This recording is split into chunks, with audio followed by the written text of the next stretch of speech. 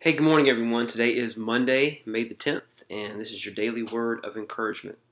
You know, today's uh, thought is really going to focus on that word encouragement. Uh, when I first started doing these morning devotions uh, back during the early days of COVID last spring, uh, I was trying to come up with the name of what to call these every day, and, and that was the name I came up with a daily word uh, of encouragement. That um, this is something that hopefully you could watch early in the morning or whenever you get a chance to, to watch it throughout the day and it would be a source uh, of just that. It would be a source of encouragement. Now, that word itself, encourage, means to uh, to place courage within someone else. We need encouragement when we are feeling a lack of courage. We feel like a lack of strength, a lack of power. And when someone else can come alongside of us and place some of their courage or the courage that they, it's the, the truth about uh, the reality, the truth about life that they can, they can see and understand that sometimes we are obscured from seeing because of the challenges that we're facing and take a little bit of that courage and place it within us, um, man, it has, a powerful effect um, when we know that someone cares about us enough to speak that word of truth into us or to offer those words of support to us. That's what the idea of encouragement is.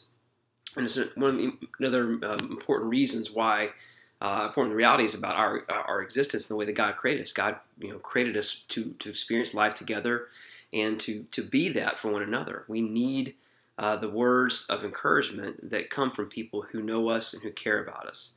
Um, and that's what the verse today is, is simply an, is, is an, encouragement to do um, out of 1 Thessalonians uh, chapter 5 verses 11. This uh, takes this verse comes out of the last chapter, the very uh, the, the ending part of Paul's letter to the uh, first letter to the Thessalonian church. And this is a, fairly young church in its existence, um, had not been planted long before Paul uh, wrote this letter to it.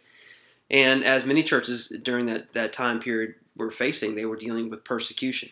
And, um, and so Paul knew that it was a struggle for them because there were uh, forces within the area, particularly Jewish forces, that um, felt like they were you know, preaching a you know, perverted theology, but, you know, claiming that Jesus was the Christ and and um, that he was the Son of God, he was God's Messiah, and so they were they were dealing with this kind of persecution from outside forces.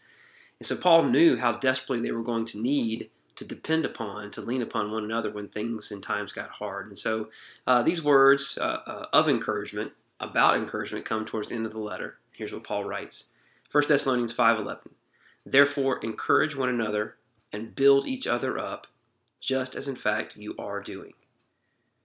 Therefore encourage one another and build each other up, just as in fact you are doing.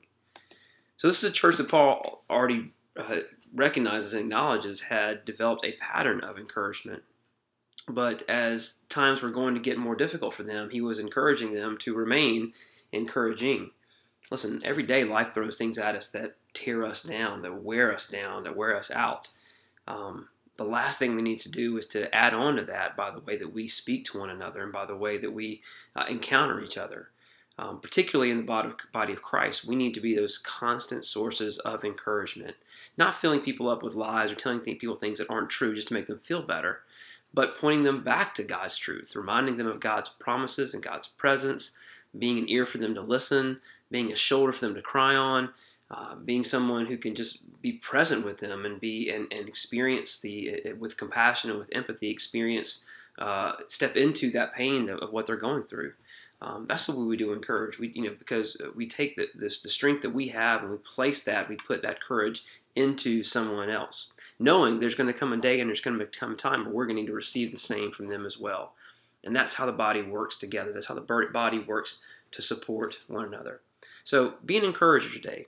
Uh, find something positive. Find something, uh, uh some source of truth uh, that you can take and place into the life of someone who desperately needs it. In fact, if you want to follow through with um, our next steps and our challenge from the sermon yesterday, when you do that prayer for one, praying for one person that, that um, God will bring into your path today that you can show love to, um, recognize when that moment happens and that awareness to, to offer that encouragement that you have from your closeness with God um, to that individual that God brings into your path. Let's pray together. Lord Jesus, we thank you so much for this day that you bless us with. And Lord, I just pray today that that we would be encouraged, that we would be reminded of the strength that we have from knowing you and being in a relationship with you, and that through that through that strength, Lord, we would then um, have the opportunity, and Lord, certainly the the um, the ability to um, to bless someone else by encouraging them, whether it be a, a, spoken word, whether it be a gesture, whether it be an act of kindness, or just simply time spent with someone who um, who needs uh, that that connection. Um, Lord, I pray that you would just open our eyes to be aware of the needs around us, and that you would equip us with what we need in that moment to respond to your Spirit's leading. Lord, we love you, and we pray all this in your name. Amen. God bless everyone, and be encouraged today.